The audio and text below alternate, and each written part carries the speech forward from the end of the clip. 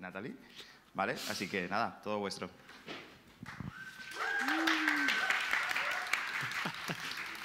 Bueno, gracias. Pues bienvenido, gracias por venir a, nuestra charla. Em, bueno, si algo tenemos en común los que hemos venido aquí, todos vosotros y, nosotros, eh, es que bueno, sabemos que montar equipos decentes de ingeniería pues es difícil. ¿no? Bueno, esto tenemos en común también tenemos en común que hemos venido a tomarnos una horchata y que algunos de vosotros habéis venido a criticarme después. lo tengo clarísimo. Vale, pero bueno, volviendo ahí, volviendo ahí al tema, hay que echar energía eh, para montar un equipo, tiene unos retos, eh, sobre todo hay que echarle también tiempo. ¿vale? Y bueno, nosotros lo que hemos venido aquí es a contar la experiencia de cómo hemos superado esos retos y eh, bueno, pues unas lecciones aprendidas al final. ¿no? ¿Dónde está el cacharro este? Bueno, yo soy Miguel Ángel. Yo curro en Catium, eh, llevo cuatro años y medio currando en Catium, eh, soy programador y, y, bueno, en Catium tenemos una organización plana donde nos podemos dedicar a varias cosas. Yo he pasado por varios, eh, por varios roles y ahora estoy pues, más cerca de management, la verdad. Natalie, would you introduce yourself? Um, hi, everyone. I'm Natalie Greffenstedt. Apologies for the mask. I'm a bit sick. I don't want to infect you. Um, I started at Catchem last summer in August, and I was part of the initiative that we're just going to talk about next. Cool. Thank you. Entonces, voy a contar un poco Catium para que veáis el, contexto, ¿no? de dónde nos movemos, porque luego al final, eh, los que no trabajáis en Catium tendréis que, eh, sacar un poco de mm, cuál es nuestro contexto, cuál es el vuestro y cuáles son las lecciones que podéis aplicar. ¿no? Entonces, ¿qué es Catium? Catium nos dedicamos a hacer... Eh, herramientas para, la, para, que para las empresas de gestión de agua hagan sus redes más eficientes. ¿Vale? Entonces, ¿por qué? Y ahora, y ahora lo, lo, voy explicando. ¿no? Eh, hay una parte que es hacer las redes más eficientes. Tenemos un componente de dominio que son mover el agua por las tuberías. ¿Vale? Es, un, es, un, es, un, dominio pues, sofisticado, digamos. ¿no? Es una de las partes que luego eh, mencionaré porque es importante también para, para montar un equipo. Tenemos eso, luego tenemos, eh, aquí nos dirigimos a las empresas de gestión de agua, es un B2B, ¿vale? Y luego hacemos herramientas, hacemos herramientas para la web. Entonces, todo esto va, va unido. Eh, ¿Qué más de Catium? Pues, eh, pues llevamos como cinco años funcionando. Somos 30-40 en el equipo de producto, que lo podéis extrapolar a ingeniería de vuestro sitio. Así que, eh, bueno, también somos patrocinadores, hay unas bolsas muy chulas fuera, eh, os animo a cogerlas. Y más cosas, un poco de agenda de lo que vamos a ver. Eh, primero voy a contar sobre esos retos, que vais a ver que, bueno, hay unas partes que son nuestras, pero hay muchos que es general, lo veréis, lo, lo podréis, lo podréis eh, proyectar.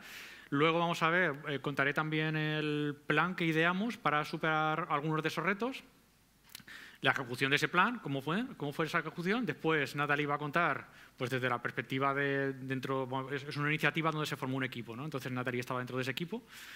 Y luego, cinco minutos o uno, veremos lecciones aprendidas o resultados. Eh, los retos. Esta Dafne te gusta, esta atrapada, la carita esa. Bueno, lo que hemos visto el, es montar un equipo es duro, ¿vale? ¿Y por qué es duro? Esto es, aquí voy a contar algunas cosas que, se, que podéis ver en, todo el, en, lo, en, lo, que es nuestro sector. ¿no? Hay una demanda muy alta de personas, de, de, ingenieros de software, de personas para programar. Y esto lo que, lo que hace, eh, esto provoca muchas, muchos efectos secundarios. ¿no? Uno de ellos es, en una demanda somos una profesión privilegiada, digamos, ¿no? Eh, digamos, no, o sea, esa es la realidad, somos unos, unos privilegiados y como somos unos privilegiados también podemos nuestras condiciones, ¿no? Unos salarios normalmente más altos, queremos que nos den cositas en la empresa, beneficios aparte del salario y también pues, podemos decir, oye, que queremos eh, pues un, un, entorno de trabajo flexible. Eh, todo esto, ¿qué es lo que, qué es lo que, en, qué, ¿en qué impacta? En que para contratar a estas personas necesitamos dedicar mucho más tiempo, esfuerzo y energía para atraerlas. ¿Por qué? Pues porque hay pocas, si nos equivocamos en contratarlas, la hemos liado, porque necesitamos mucho más tiempo para buscar a otra persona. Eso es. Eh, entonces, necesitamos también tiempo para encontrar ese perfil, eh, para, diseñar ese perfil, para el, el, el candidato perfecto que entra a nuestro equipo. Y realmente lo que, lo que vemos es que, bueno, lo que vemos, lo que, lo que se ve desde fuera es la punta del iceberg, que es, vale, cuando el candidato entra al, al pool, ¿no? al, al pipeline de, de, candidatos y entonces empiezan las entrevistas y todo eso. Pero antes de eso, hay un, antes de, de, ese proceso, hay un, hay un proceso de, hay hay un plan muy elaborado como que se dedica mucho tiempo para descubrir a ese candidato y que los candidatos que entren y los candidatos que vayan pasando por ese proceso sean los adecuados. ¿no? Entonces, ahí, mm, ahí, he puesto como cuatro topics que por lo menos hay que tener en cuenta. Uno es una, parte de people, ¿no? que es qué gente tienes en el equipo ya. ¿no? Conoce a la gente, a sus las habilidades que tiene, cómo contribuyen al equipo. Esto es clave porque después lo que vamos a buscar son gente que complemente a lo que tenemos ya en el equipo. Hay otra parte importante que es eh, el negocio, lo pongo aquí también eh, ligando con lo, que os he contado de Catium, porque eh, bueno, nuestro, nuestro negocio es algo sofisticado, ¿no? no es un CRUD, no es un e-commerce y hay que saber pues, un poco de conceptos hidráulicos y la gente que entra tiene que tener capacidad para resolver ciertas, ciertos conceptos. Eh, por otra parte, metemos la dimensión tecnología, que esa es la que cuando vemos en las ofertas, ¿no? es como es casi, casi parece que es la única dimensión que hay, ¿no? porque ¿qué, lo, que, lo, ¿qué es lo que queremos? Pues un ingeniero que sepa TypeScript y React. ¿no? En las ofertas como que están muy, muy, muy dedicado a eso. ¿no? Vamos buscando una, alguien que nos pique líneas de código de una manera, en un lenguaje concreto. Y luego, por otra parte, la cultura. ¿no? Eh, esa persona que ahora... Eh, se le da mucha más importancia a la cultura porque, porque bueno, con, con, con, la dificultad que tenemos de encontrar ingenieros, lo que hacemos es bajar un poco ese listón de tecnología, porque si hay ingenieros senior en el, en el, en el equipo ya pueden aportarlo, y lo, hacer que, o asegurarnos de que esa persona que va a entrar al equipo eh, mache culturalmente, no nos haga un cisco dentro del, equipo y luego se vaya, ¿vale? porque por lo, lo, que he comentado, después cuesta mucho eh, volver a traer volver a traer gente. ¿Cuánto llevo? Diez minutillos. Vale, y luego hay otro, otra dimensión que está ahora muy hot, que es la de diversidad. Pero ¿por qué está hot? ¿Y cuál es mi teoría? ¿no? Mi teoría es que los productos que se demandan son unos productos ahora mismo, en el 2024, son productos que se requiere que sean completos, que sean completos, que sean redondos, que estén, eh, que estén enfocados a una variedad de audiencias, que se pueda hacer lo mismo de varias maneras distintas, que lo puedas ver en distintos dispositivos, que lo pueda ver toda la familia. Para que ocurra esto, no solo hay que recoger los requerimientos del cliente, es que los problemas que hay que resolver en el dominio del negocio también tienen que ser resueltos de maneras distintas. ¿vale? Eh, ¿Por qué digo esto? Porque eh, bueno, es algo que nos encontramos en Catium, que necesitamos que los problemas, darles, darle, darles enfoques distintos. Y luego en Catium tenemos una, pro, bueno, una problemática, pero es un reto concreto que es, vale, nosotros vamos con una oferta de desarrollador senior, como tiene todo el mundo, ¿no? Vamos, desarrollador senior, queremos una persona con 10, 15 años de experiencia, que sepa TypeScript y que sepa no sé qué. Y bueno, lo clásico. ¿Y qué es lo que nos encontramos? Porque todos los perfiles que entran son básicamente los mismos, ¿vale? Es, están todos cortados por el mismo patrón. Y con esos perfiles, si, incorporamos a gente que sepa lo mismo, nos va a traer un producto pues, muy eh, corto de miras, digamos, ¿no? muy encerrado, que eso esté enfocado a, una, a, un tipo de personas. Y este es el reto que tenemos. Bueno, el, en la diversidad, algunos de los keywords que he puesto ahí, pues ¿qué es lo que nos trae? Eh, pues innovación, pues eh, fomentar la innovación, también la creatividad, distintos puntos de vista sobre el mismo problema, que hace que un producto sea, eh, pues puedas utilizarlo y, pueda, y, y sea más rico. Y luego hay dos partes. En 2024, la reputación, ¿vale? Si tú eres un equipo diverso, eh, de alguna manera puedes marketear eso y decir, yo soy un equipo diverso, y te da reputación. Y luego, por otra parte, hay una retención.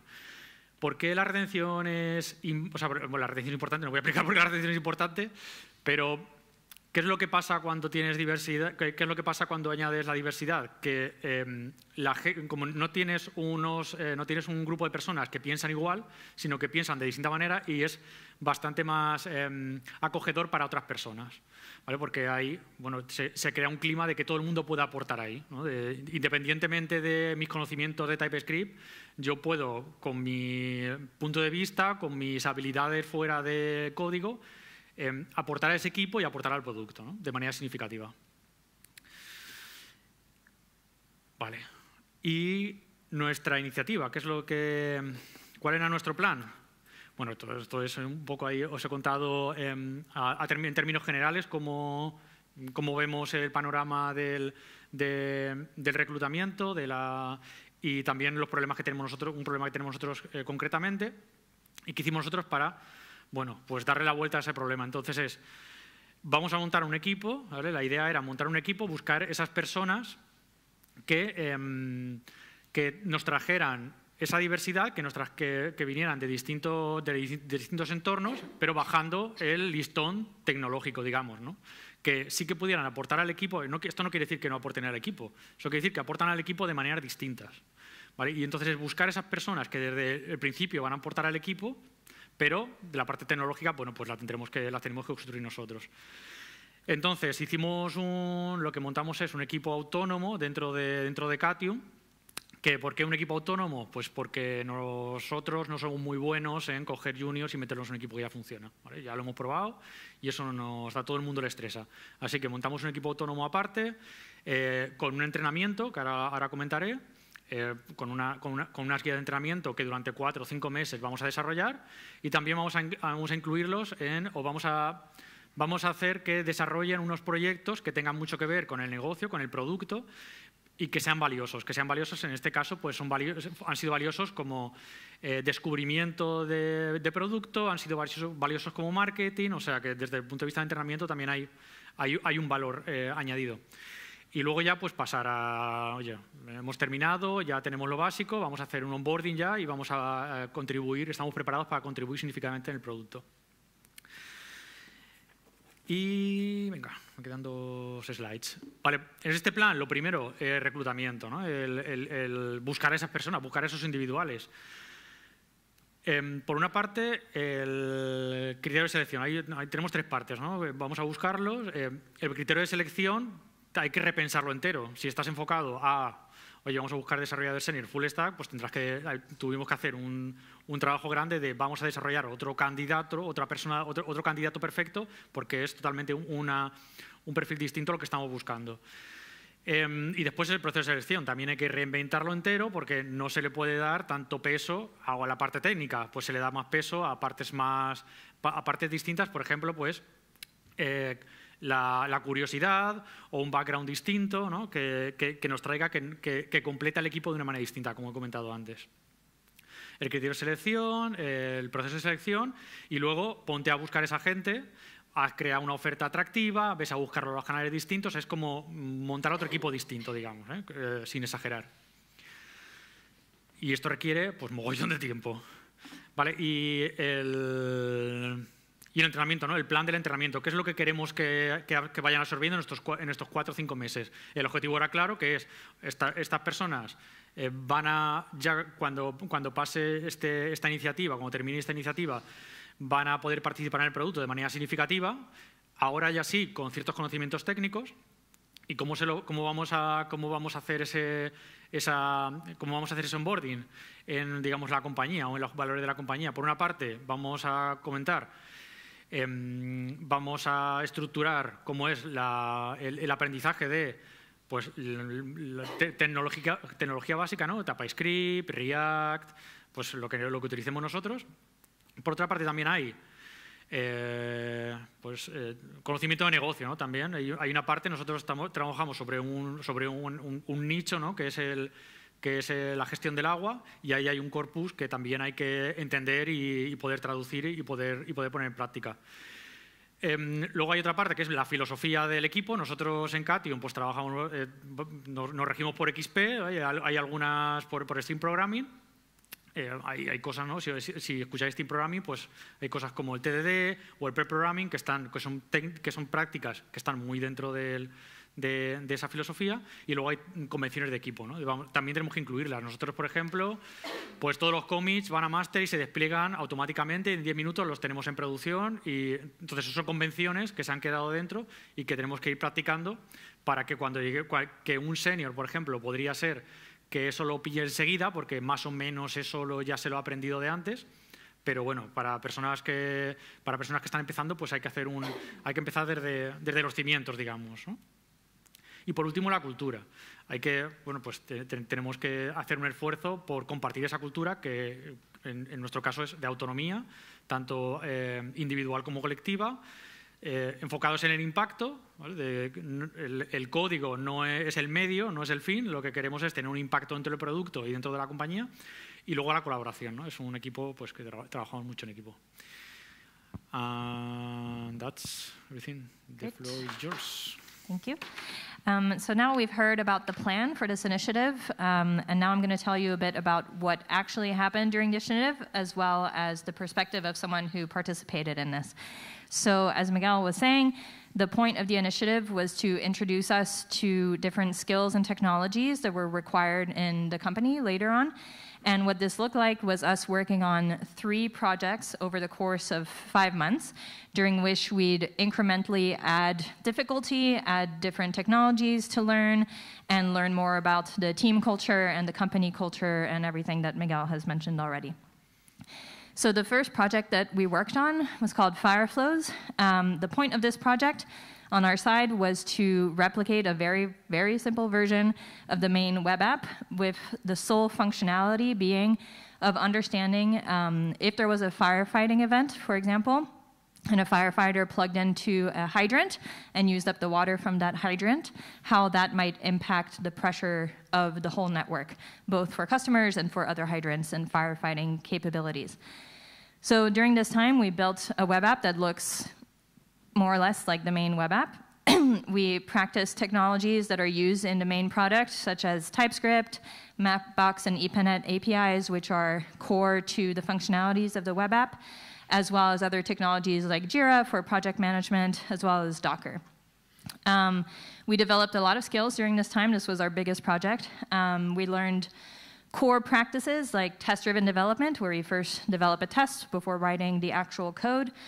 We also learned how to work while pair programming, where we'd uh, be live on Zoom or through Slack throughout the day and share our screens and share our knowledge, which was really great for us juniors to be able to share our knowledge and, and complement each other's um, code.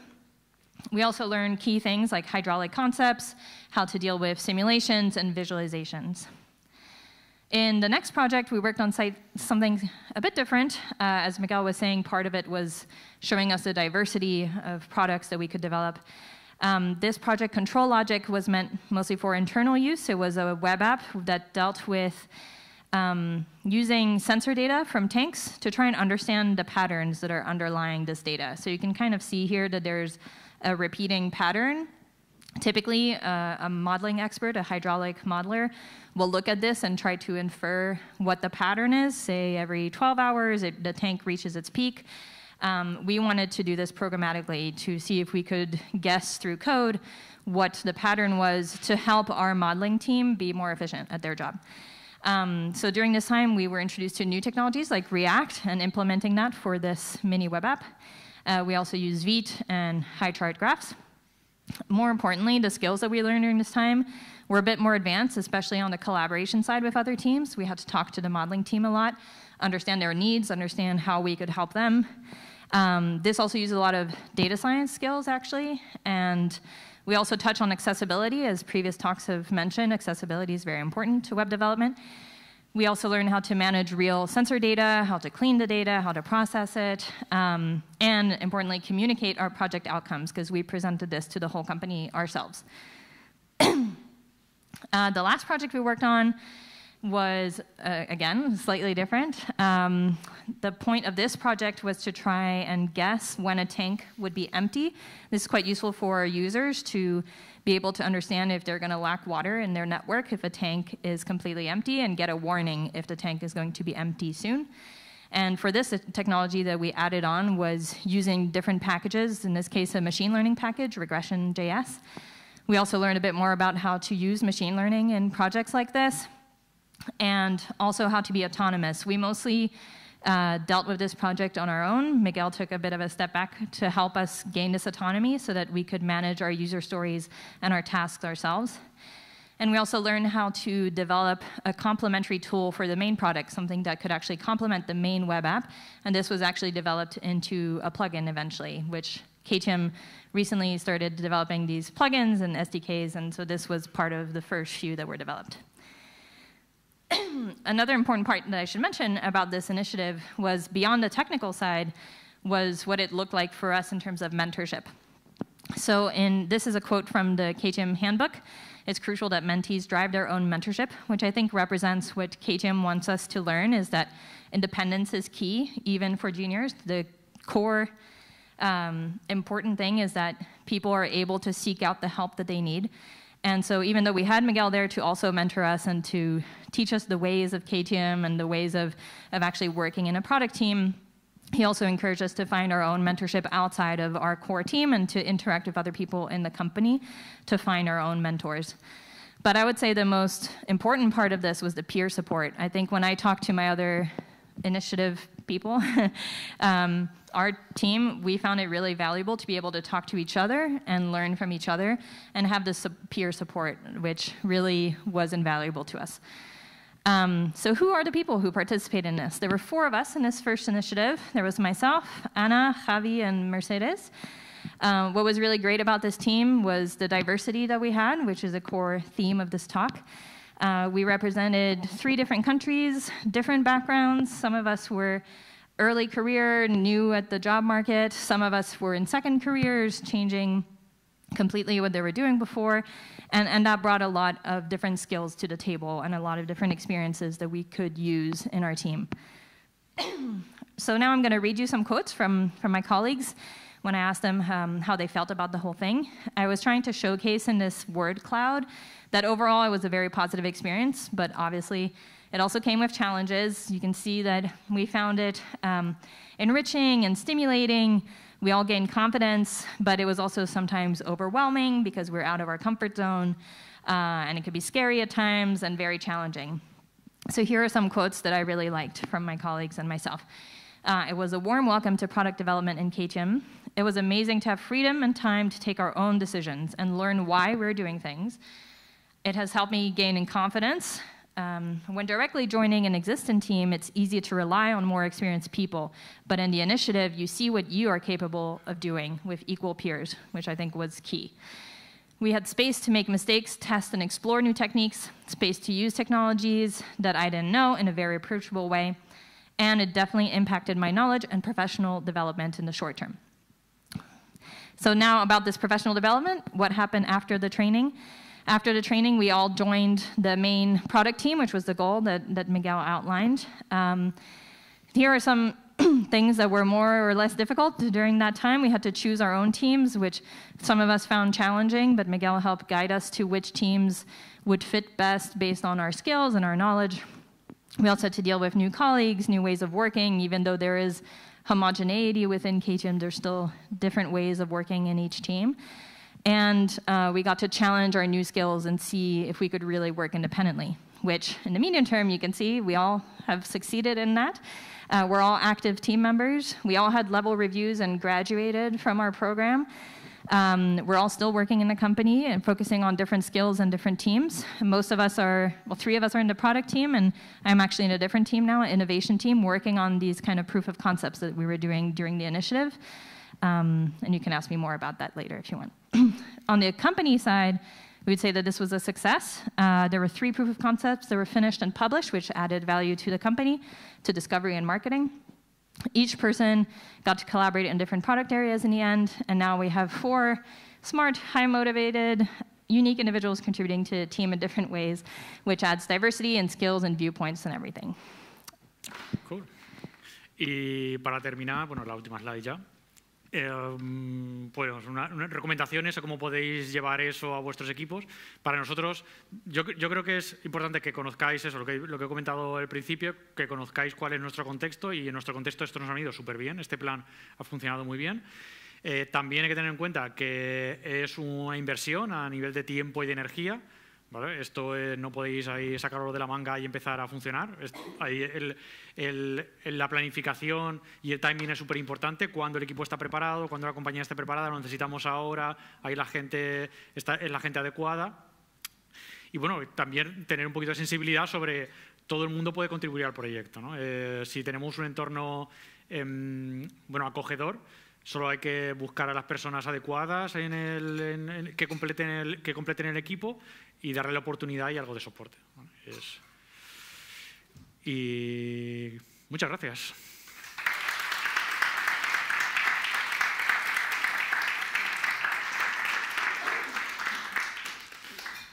Vale, muchísimas gracias. Eh, empezamos el apartado de preguntas por aquí.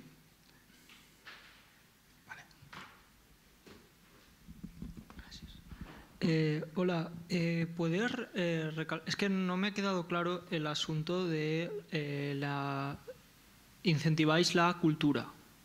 Incentivamos la cultura. A ver, ¿la cultura se puede incentivar? Eh, ¿Se puede incentivar la cultura? Bueno, Creo que sí. La cultura está, eso existe, está ahí presente y lo que, lo, lo que tenemos que ver a la hora de montar un equipo es que la cultura de alguna manera sea homogénea para que todo el mundo reme hacia, la, hacia, hacia el mismo sitio. Es, es algo importante para que... Si la misma forma de trabajo, quieres la decir. inform- bueno, la firma de trabajo y la- también la misma cultura. ¿no? Si buscamos, por ejemplo, una de, la- una de nuestros de nuestros puntos clave de, de la cultura ¿no? es eh, esa autonomía. Si, si lo que incorporamos es una persona que no se siente cómoda siendo autónoma, sino que espera que le digan lo que hay que hacer, pues entonces no encajará bien en nuestro equipo. Mm, No se incentiva, o sea, es como tiene, un- una tiene su propia dimensión. Sí, yo... ¿O- ¿A qué eh, te referías? Sí, bueno, es que habéis hablado de, de como eh, dinámicas para eh, hacer eh, vuestro entorno de trabajo como hacia una cultura en concreto y para fomentar cierta diversidad. Entonces, eh, eh, todo esto me resuena en, en un contexto de programadores a incentivar a, a que eh, la, li- la libertad de los usuarios esté ahí en el sentido de eh, la libertad que tiene el código de, de la gente que, que desarrolla este software. Mm, La libertad del código. Mm, No te estoy, creo que no te estoy terminando de entender. Sí, bueno, el- eh, lo que estoy preguntando es si habéis pensado algunas dinámicas para, para fomentar la diversidad en el sentido de eh, hacer vuestro código libre para que el programa eh, pues pueda tener eh, la, la libertad de los usuarios para poder usarlo como Vale. quieran, leerlo, Ok, a nivel de open source, compartirlo. estamos hablando de open source, etc. no, de software libre. De software libre, vale, Sí. perfecto.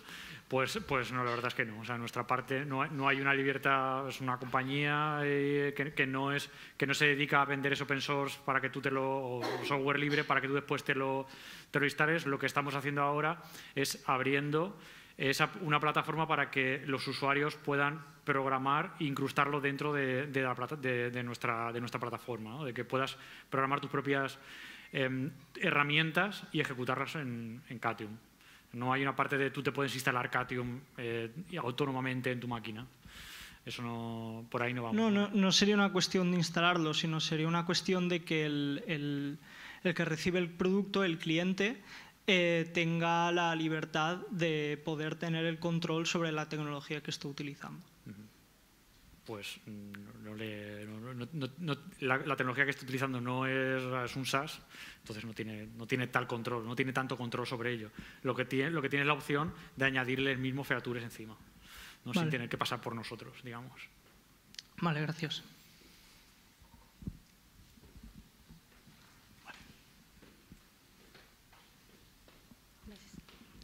Eh, gracias. Eh, quería preguntarte cuando decías que eh, estás en la fase de reclutamiento, ¿sabe- ¿cierto? Decías que, por ejemplo, eh, pides para diseñadores web, ¿sí? Pero entonces eh, quieres agregar esa diversidad y alguien que traiga algo nuevo.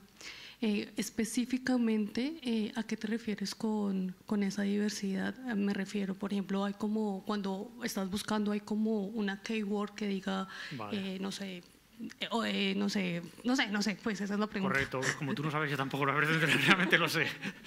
Pero cuando pero tú est- estás viendo y te estás viendo los, bueno, estás repasando currículum, lo que tú buscas es ciertas eh, ciertas keywords, por ejemplo, la curiosidad. Es una de las cosas que, que yo siempre me fijo, ¿no? en, en la curiosidad. Si tiene curiosidad y después si tiene alguna otra cosa en, en su currículum, por ejemplo, pues Natalie tenía que tenía un background en Machine Learning, no era programadora, pero tenía eso. Y nosotros no teníamos, ni se nos había ocurrido que queríamos eso. Pero ¿por qué no? ¿No? Es ese, ese punto de vamos a traer cosas que no sabemos que queremos también. Ya sí, porque ese es el, el reto eh, para ustedes como reclutadores, bueno, me refiero en la, en la parte de reclutadores, y para uno eh, que está postulándose, ¿no? Porque digo, bueno, si es un programador web, supongo que tengo que poner las palabras eh, claves, pero ¿cómo hago yo para diferenciarme y que digan... Pues eh, para diferenciarte tienes que ser tú. Sí, ya, pero... Tienes que decir, oye, mira, esta soy yo, soy, no sé, programadora junior, no sé programar todavía, pero sé un montón de cosas que a lo mejor te van a venir bien, que no son programar. Pues mira, eh, he estudiado o he hecho investigación, no he programado, pero he hecho esta investigación y he trabajado en la universidad no sé cuántos años, o he montado un, un pequeño negocio, o he, he llevado el negocio familiar. Todo esto, eh, desde el punto de vista de la persona que está, bu- que está buscando completar un equipo, son rasgos que le ayudan a decir, vale, esta persona tiene ciertos rasgos pues, de resiliencia, de autonomía, que nos van a ayudar a lo mejor programar, ¿no?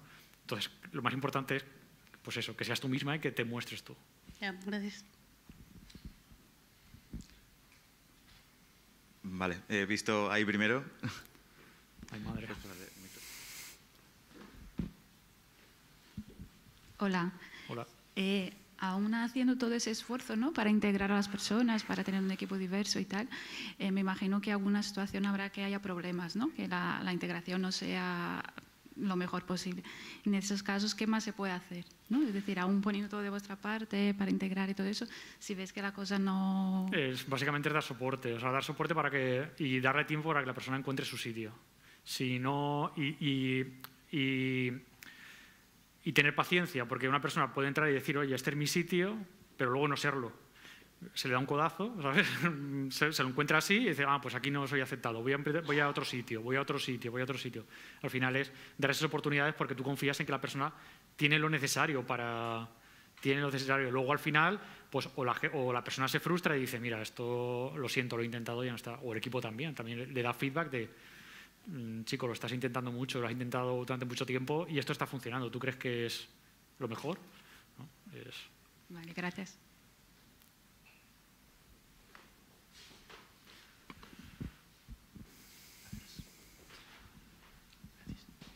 Buenas, te quería preguntar tiempos que habéis tardado un poco en hacer todo esto, ¿no? Por un lado, la parte de definir los proyectos, ¿no? Estos tres proyectos que entiendo que la- no sé si por parte de producto o quién lo ha definido, pero ¿cuánto tiempo habéis tardado más o menos en decir, este es el proyecto que vamos a hacer? Y luego, ¿cuánto han tardado ellos ¿no? y ellas en, en desarrollar estos tres productos por su lado y cuánta mentoría por parte de los seniors habéis necesitado, ¿no? Entonces, los proyectos, eh, súper poco tiempo, ¿vale? porque los proyectos también se hacen en base a las personas que hay. No se pueden tener unos proyectos preparados ahí sacados de la caja y meter a cuatro personas que no van a poder ser. ¿no? Entonces, vamos a buscar eso y después buscamos oportunidades porque en el backlog es infinito siempre. Seguro que hay algo para todo tipo de gente. Entonces, es muy, es- eso fue bastante sencillo. Y luego, a nivel de mm, mentorías, digamos, ¿no? otra, de las cuestiones, pues yo al principio era el, yo era el mentor eh, y yo pensaba que tenía que dedicarme mucho, pero la verdad es que luego al final la gente aprende sola, ¿sabes? No, tú no que tienes que estar ahí enseñándoles nada. La gente le das un reto y les enseñas cuatro cosas y tiran para adelante y lo hacen mejor de lo que tú pensabas que iba a salir. Y luego has, has- sacado otro topic, pero no sé cuál es el... ¿Había otra cosa? El proyecto entero son... Vale, los tres proyectos han sido como cuatro meses, entre cuatro y cinco meses, pero lo que ha sido más tiempo esto es la preparación. La preparación ha sido mucho más. Probablemente estamos hablando de años, mm, no solo busca el momento adecuado para la empresa, porque al principio pues es muy pronto, después igual no es tan pronto, pero esta es una fase de más eh, de, explotación. Ahora sí que quieres, mm, tienes el momento y tienes la gente, pers- las personas y, eh, y además tienes personas que, tiene, que, que- tengan energía para hacerlo. Entonces, es un proceso de estar continuamente como esperando el momento y tenerlo medio preparado, recoger mucho feedback de otras personas, eh, de tu equipo, de fuera del equipo, ver cómo lo, está- lo se, han se ha- se hecho en otros equipos, en otros sitios y tenerlo como, em, bueno, eh, como, como calentito siempre, digamos. Ah, ya está, vale. Eh, ¿Alguna pregunta más? Sí, por aquí. Madre.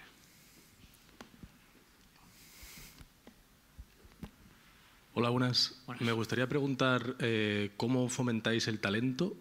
Ostras. y cómo, y cómo lo retenéis, porque al fin y al cabo hablas de cosas muy, bueno, de la persona, ¿no?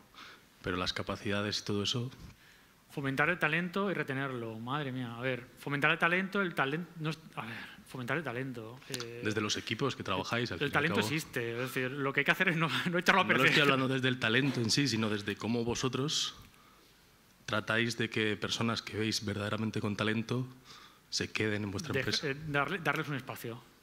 Se les da un espacio y se les deja que estén cómodos y se les da un pequeño reto para que ellos vayan tirando. Eso es, ese es el, ese es, y la gente tiene su propio motorcito que, que tira millas. ¿no?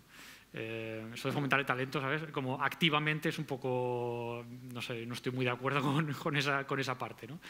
Y luego lo, lo otro que has comentado de mm, eh, la retención, lo mismo, la retención va sola. Si tú creas un ambiente diverso, donde tú dejas oportunidad para que la gente se mueva y donde haya muchos espacios, la gente va naturalmente a ir a esos espacios donde está cómoda y luego a buscar otro espacio donde está un pelín menos cómoda y a cogerlo. Y luego otro espacio donde está un pelín menos cómoda y a cogerlo, tener esos pequeños retos, pero tienes que dejar que esos espacios existan y que la gente mm, los vaya y, darle a la gente la, la- la posibilidad de que vaya a cogerlos ellos, ellos mismos. Es abstracto, ya, ya lo sé. Claro, es que exactamente Pero- es, pero un poco- no- no sabría es muy romántico cómo lo expones, porque al fin y al cabo estamos Ay, hablando de ya. personas. Y yo quería saber un poco más eso, la gente que a lo mejor busca un reto un poco mayor o ve un planteamiento a lo mejor muy básico Sí.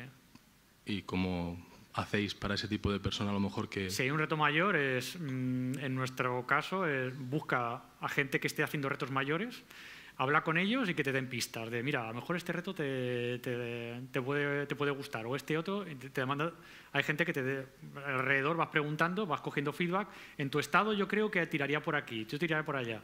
Tenemos un contexto donde no hay managers, entonces no hay nadie que te vaya diciendo, ay, soy tu papá y ahora tienes que hacer esto, no, ahora tienes que hacer lo otro, y tu siguiente paso en carrera profesional es este, ¿no? Eso lo dejamos, como decía Natalie, a cada, a cada uno con su, que vaya a su marcha, ¿no? Vale, gracias.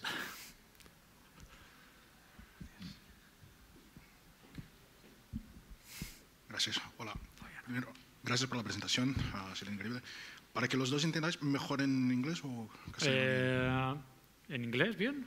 Okay. Uh, I find very challenging uh, manage uh, distributed teams, right? And uh, I would like to know if you have any advice on how to foster and incentivize uh, more collaboration of uh, distributed teams, especially when there is a huge gap in time zones. Sorry, can you put your mic a bit closer? Yeah, sure. Um, I was saying that uh, I find it very challenging to uh, work with and manage uh, distributed teams.